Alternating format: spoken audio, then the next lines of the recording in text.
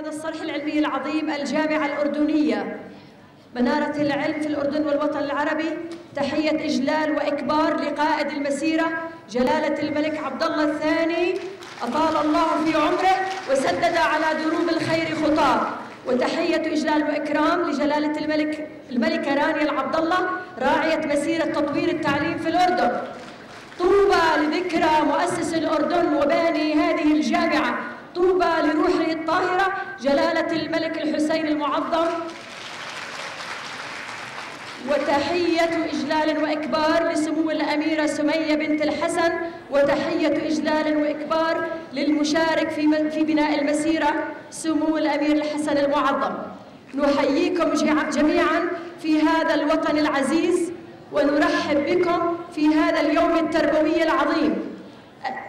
البروفيسور جوزيف رنزولي لن أتحدث عن مآثره الأكاديمية وتعريفه واضح لكن يريد أن أقول أعتز ما حييت أنني طالبة رنزولي وأعتز بأن أقول أن التميز التربوي والإبداع بدأ من دائرة رنزولي في ولاية كونتيكت إنه العالم الأول والأخير الذي تحدث عن تكامل التعليم نادى ببرنامج الإثراء المدرسي الشامل وأول من نادى في تميز التعليم في العالم. مدرسته قائمة ومنتشرة في كل أرجاء الكرة الأرضية. لقد قاد تميز التعليم في الولايات المتحدة الأمريكية في القرن الماضي وسيقوده هذا القرن أمد الله في عمره ومتعه بالصحة والعافية وستبقى أفكاره لعصور وليس لعقود قادمة. نعتز به جميعا كعالم طور التعليم على وجه هذه الكرة الأرضية فلنحييه جميعا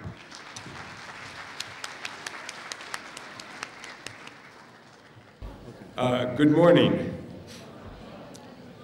It is a truly a great honor and a great pleasure for me to be here in your beautiful country and the center of the world's civilization, uh, especially uh, to be introduced by uh, Dr. Nadia, who is one of my, who was my first uh, international doctoral student, and I'm very proud of the wonderful work that she has done uh, in the Middle East, and also the work that I continue to do with my good friend and colleague, uh, Dr. Taisir Yamin Subhi.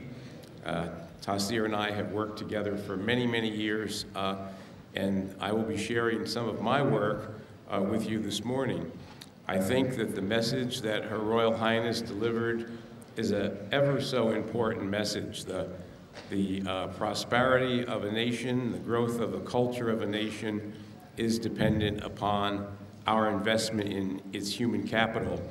And I will try to make some suggestions this morning about the ways that you can develop the giftedness and the creativity of young people in your country and other countries that are represented here today.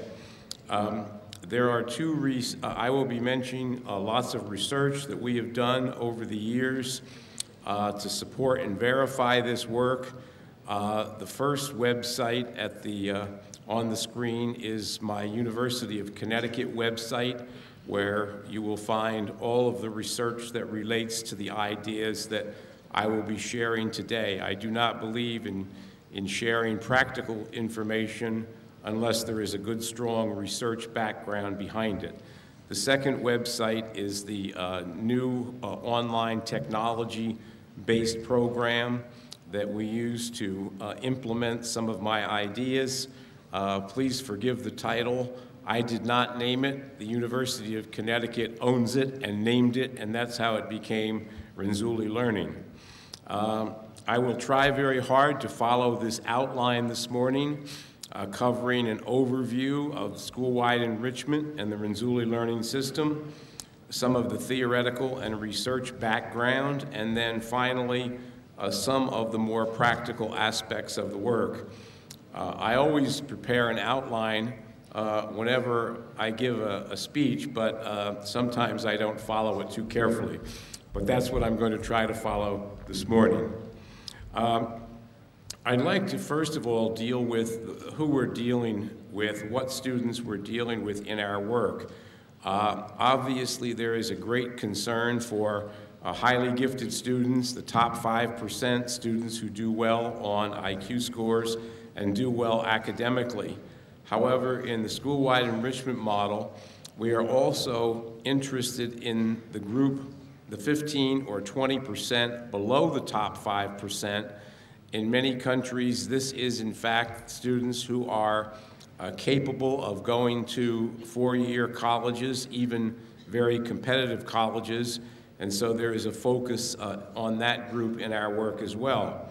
I also believe that even in the general population, we see some small dots here spread around the screen in different places. There are youngsters in that general population who also may have unrecognized potential. And so school-wide enrichment does not say everyone is gifted. What it says is that we must give opportunities to more youngsters to find out if there are gifts that may emerge if we provide them with the right opportunities, resources, and encouragement.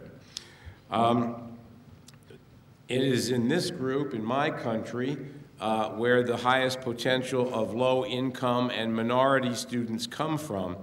These are all students clearly capable of going on to higher education and even to graduate post-baccalaureate work, but oftentimes they don't get the opportunities because they do not score well on tests. And so one of the things we'll talk about is things other than tests that we should be looking at to give students uh, opportunities. Um, there are two theories underlying my work, which I will cover in greater detail. One is called the three-ring conception of giftedness, there is an, are articles about this on my website. The other, a related theory, is called the enrichment triad model, the kinds of things that we do to develop giftedness in young people. The organizational plan is called the school-wide enrichment model. Our theme is applying the pedagogy of gifted education to enrichment opportunities for all students. Again, this is not to say that I've said all students are gifted, but I am saying that we need to give opportunities to see if, in fact, bright young people emerge. And our theme is a rising tide lifts all ships. As we make the school better for one student or a small group of students, we also make the school better for all students. Um, now, the school-wide enrichment model consists of three service delivery components. One of them is uh, assessment of student strengths. The second is curriculum modification and differentiation techniques. And the third are the three types of enrichment in triad, which I will cover in greater detail. Each of these three service delivery components are brought to bear on three school structures. The first one is the regular curriculum. We should be modifying the regular curriculum. Uh, the second is a series of special gatherings of young people based on interests, which we call enrichment clusters. And then the third is what I call a continuum of special services. It might be clubs, it might be after-school programs, it might be uh, advanced, uh, advanced courses. There are many different kinds of organizational plans. On the side of the model are various uh, resources that my colleagues and I have developed over the past 35 years to make implementation of the model easier.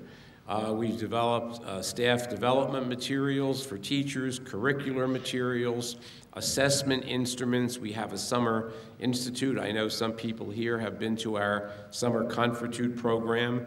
This summer will be our 33rd year. We've trained over 25,000 teachers since we began. Now, people have often asked me how I can summarize a school-wide enrichment model in a sentence, in one sentence, and that's very difficult. So I've designed this slide, which I hope will make sense to you. Um, this is your main curriculum. Uh, this is what you must teach. This is what the ministry says you must teach. This is what's in your textbooks. In the United States, we have book after book after book of standards by the government, and it says that these are the things that we must teach. The school-wide enrichment model is an infusion-based approach, not a replacement approach. We're never going to throw out what the ministry says we must teach. We're never going to throw out, in my country, what the standard says we must teach. So what we want to do is enhance that. So we're going to add some vegetables, and we're going to add some nice spices, and of course a turkey baster, and all of a sudden we have a much more attractive meal. It's much more intriguing, engaging, enjoyable to young people. And so this is sort of the way that I like to explain uh, what it, the model is. It doesn't say throw out what you're doing, but rather infuse into what you're doing the kinds of enrichment that I will be talking about. Now, our most recent work has been an electronic uh, internet-based program which you will see me demonstrate later. But to give you a very brief overview, one of the things that we do is we do a complete assessment of all four areas of student strengths. Most people think of student strengths just strictly in terms of achievement, but we look at interests, we look at learning styles, we look at preferred modes of expression, and um, we also look at their academic, uh, high levels of academic achievement. This results in a profile, which you will see later, and then a search engine searches through thousands and thousands of resources, online and resources that you can print, and it matches those resources to each student's profile. So this is true differentiation, true personalization of learning. There are other features in electronic portfolio a thing called the Wizard Project Maker, which guides young people through what you will come to know as Type 3 enrichment, and many, many other resources. Now, moving on to the first theory, a broadened conception of giftedness. In my work, one of the things that I did was uh, do research. The conclusion that I reached is that there's really two types of giftedness. One is high achieving giftedness, obviously very important. The children who get good grades, who score well on tests, who go to school well. The second type, however, is somewhat the type that Her Royal Highness referred to this morning, and that is creative productive giftedness, the kinds of people that invent things, that become entrepreneurs. We'll see examples of that as we move along. The main part of my work related to um, conceptions of giftedness is called the three-ring conception of giftedness. Um, and giftedness consists of an interaction between and among these three clusters of ability. And the one that really fascinated me the most in my early research was the one in the upper left-hand corner because it said that highly creative, productive individuals come from the above average rather than just simply the superior levels as measured by tests. Obviously, higher test scores produce a lot. But there are many people, famous people, creative people, Nobel Prize winners, that were above average but not necessarily superior. The other two clusters